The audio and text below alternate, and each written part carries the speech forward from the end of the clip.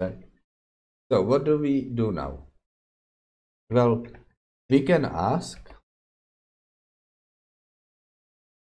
if this id is different from minus 1 right? Because we want to decide if there is a ship in a range or not.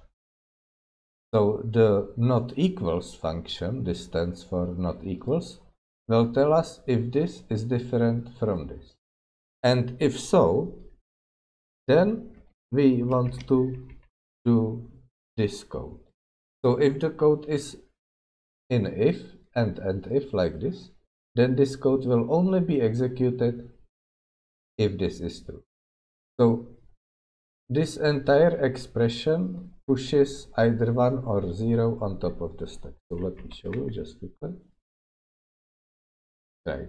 So this pushes the value from here let's say it's minus 1 this pushes just minus 1 and the not equals function. Right the not equals function. Will take those two arguments and determine if they are not equal right? If they are different. And since minus 1 is not different from minus 1 then it will put here like false like not not true basic. And the if asks if there's true on top of the stack. So this this this will be important later why it works this way. So then the if will consume the false value from top of the stack right? So the stack will be empty. And it will not execute the code inside here. So let me just show you by typing this code will not be executed. Right? But it will be only true if there is minus one right? Remember this minus one is from this variable and this variable from this is from this function that search for a ship in this range. So if there is no ship in that range that means this this code will not be executed. And you you need to think about what do you want to do? So if you want to do something if there oh right. So this means that this code will not be executed because there is no chip in it. Right. So and we actually want to print this code. Okay ah, i guess this is confusing but don't worry. It, it won't be so if i move this away I don't don't don't mind this for what ah, you see the code is not being executed. This still runs, right? I can still read the I can still see what is in this variable, right? Like this. And I can see there's minus one, right? No no ship is found, and this is not executed. But if I move this in, I'll just speed this up a bit. Right. Now there is one right? Because there's a ship in range and this code is executed right? So we can type is executed because there is ship in range.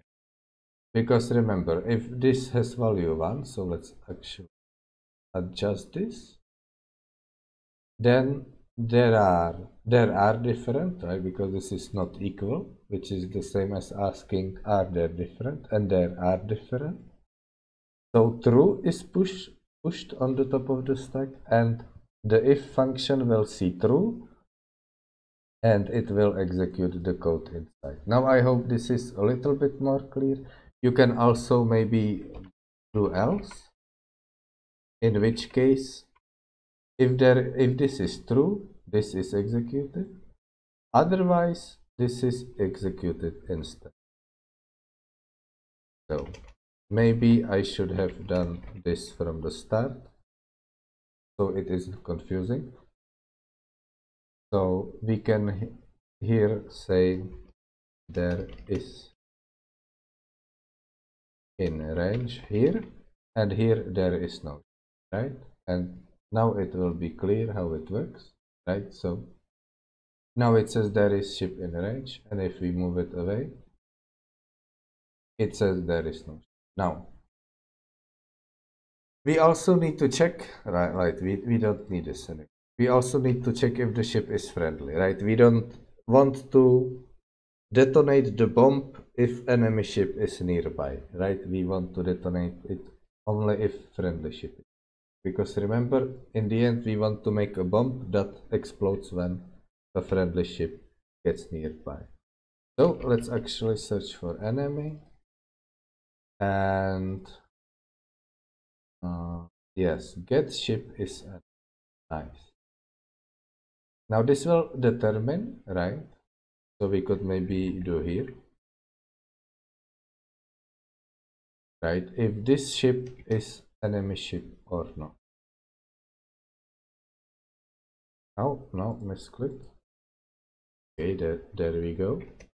Right and we could do if again and we could maybe say oh this ship is enemy ship or we could do else.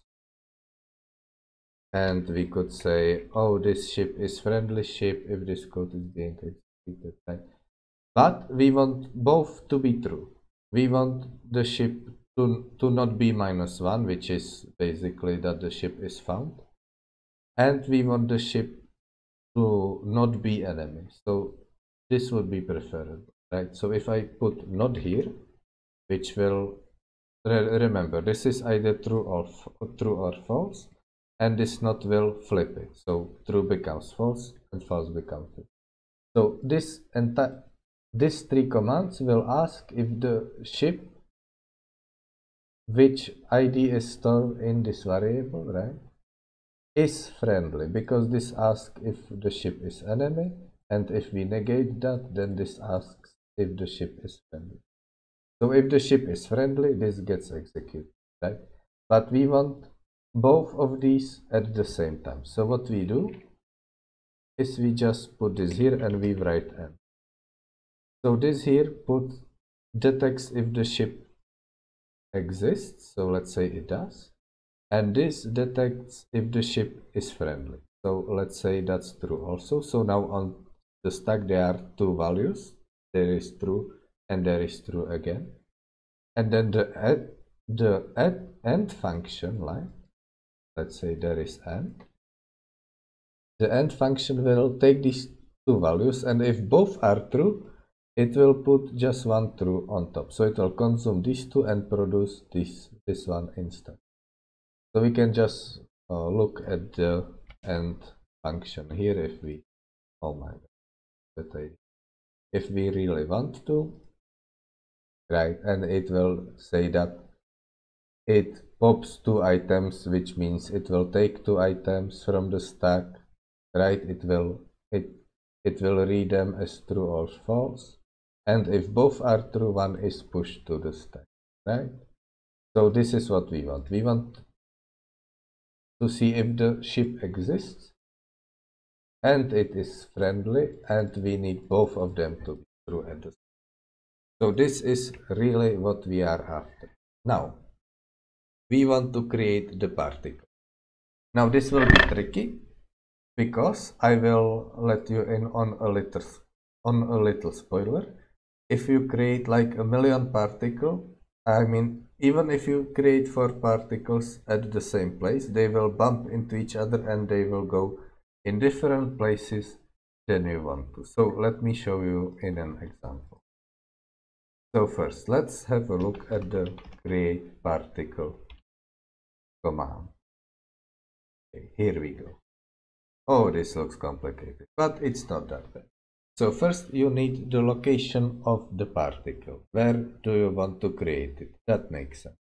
Next, the direction in which it will be going, again makes sense. Then the speed of the particle type, it actually, if you pause and read this, it will read all of this, it make probably a lot more sense. The type is like how much health it will have, and if the particle should be enemy or not.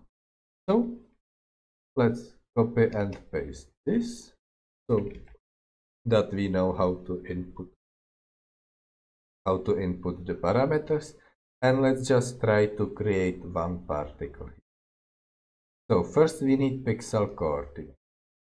Now we could just copy paste this and let's see what happens, right? Next the direction.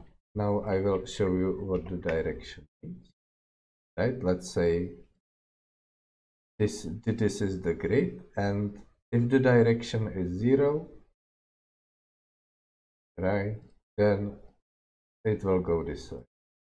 If the direction is pi over 2 because it's radians, it will go this way. So the direction is an angle that goes like this. Here uh, there is 0, p over pi over 2 and, and 1 and it's in radian right? So this isn't really complicated. Then the speed is how fast it will be going how much health and it.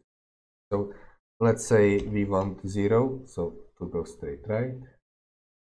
Speed let's say 4 type 0 whatever. And enemy yes we want the particle to be enemy now we just copy paste the command. Again i'm going to cheat and copy paste the capitalized command. And this this command like takes all these parameters.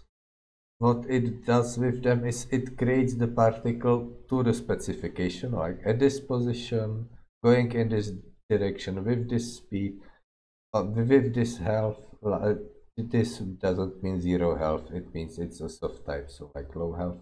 And it will be an enemy particle so it creates the particles and returns the id of the particle so this is the ID of the ship that we found and particles also have IDs and we could like create bonds between particles but we don't want to. So we just call pop and it will destroy the ID on the stack because we don't need it and it would just take up space on the stack. I mean there's like plenty of space but we don't need to waste it unnecessarily.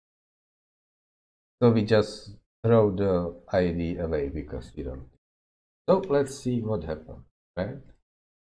So if this is the center of the search, right here, we would expect the particle to spawn at the same point. So let it come. Oh, oh my God, what is it? So first, why does it spawn here? Well, there's the word pixel. There is a difference between cell coordinates versus pixel coordinates. Right. As I said, this is one cell, another cell, another cell. But one cell equals four pixels for some reason. Just don't ask why, right? So when something is in pixel coordinates, it needs to be four times as much as if it was in cell. So we actually need 400 and 200 so now it should spawn at the center of of the search which is around so let me try it. Right see it it oh, oh no stop. Okay oh i have i am at four times. So we need to clear the particles right? Right. So it it may be it may be Huh? Oh, yeah, there is a piece of land. It's hard to see. Let's uh, let's remove the land so it doesn't collide with. Okay, and see when the when the ship gets away, the particles stop because after all, this is inside. So what we need to do now is spawn more than one particle. I know this sounds ridiculous because there's like a million particles spawning. But remember that after we spawn the particle, we will also want to destroy the unit. So what, what happens now is multiple particles spawn, like one after another, and they bump into each other. So that's why you see half of them going right and half of them going left. Even when we say that we want all of them to go right, right, because this is the direction, half of them go left because they like spawn like on top of each other and then they spread out like this to the left. So what we want to do if we want to test this properly is to okay let's do this the delay uh, when I talk about how there's 30 ticks per second then this will delay the execution like the code will stay here for 29 ticks. And why did I choose 29 well 29 ticks it stays here and the 30 the 30th tick it will execute the code. So this will execute the code exactly one per second right so it will only go once per second and it will not be so crazy. So let's try it out. Right let's move this back in. And you can see one particle spawning second going to the right. Great. Now we want more particles. So let's get more particles. Now let's don't forget that this is in degrees and not in radians. So if i do this it will not work However, there is a magic constant called deg to rad.